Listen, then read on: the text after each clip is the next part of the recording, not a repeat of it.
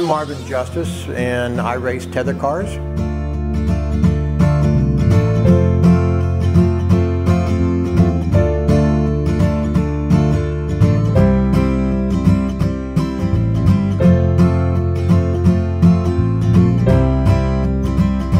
My tether car here, it uh, runs in the 3A class. There are several different classes. 3A is one that uh, has a very specific chassis, has a very specific uh, motor in it.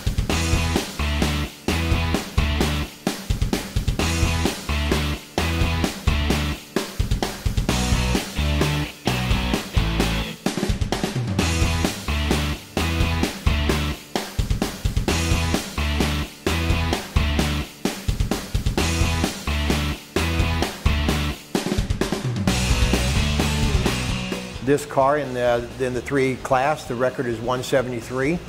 Uh, this car just won the Nationals at uh, 162 here two weeks ago in Southern California. Ready, Stu? We race these every other weekend. There's actually three tracks in America, one here in uh, Southern California, one in Indiana, and one in New York. Uh, the sport really began way back in the uh, late 1930s and was really popular in the 50s and the 60s. Uh, it kind of went uh, to the sidelines with the advent of the, uh, the RC cars, which actually derived itself from the tether cars. So there is a uh, very select group, it's called the AMRCA, American Miniature Race Car Association. A typical weekend is um, uh, we'll go to the track and we'll use the morning to do testing to kind of get a car dialed in for the day because of the weather conditions. These little motors are very sensitive to uh, temperature, humidity, air density, and so those corrections have to be made uh, each and every day and, and throughout the day. So of the morning we do make three runs, then of an afternoon we do a, um, uh, our actual heats uh, runs and they, they are all computer generated uh, times and it's uh, the average of eight laps is your overall time.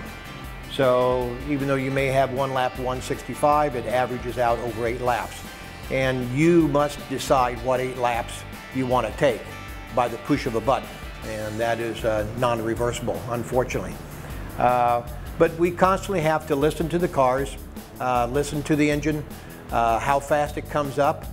Uh, these cars are, when we push them off, they are carburetor is running at wide open. And so initially for the first uh, 12, 15, 20 laps, they will be uh, running what we call rich. They will be uh, uh really full of fuel. They'll be ex uh, exhausting a lot of fuel uh, for those first few laps. And as the engine gets warmed up and pick up speed, the engine will slowly clean itself out and come up to speed. So we constantly have to listen to the engine, watch the car, uh, when I say watch the car, you can usually watch a car through up about 125, 130 mile an hour. After that, you, you pretty much lose the car. It's, uh, you can see a little puff of smoke and that's about it. So uh, the, the sound, the audible sound is, is very, very important uh, to tell us exactly what the car is doing. Uh, we make changes throughout the day tire diameters, uh, that's our only gear ratio. The gear ratio is a uh, constant, and so we have to change the, uh, the, the, diameter of the rear tires to determine our overall gear ratio. Uh, on, a, on any given day, we can go up and down depending upon whether or not we want more RPMs or more speed.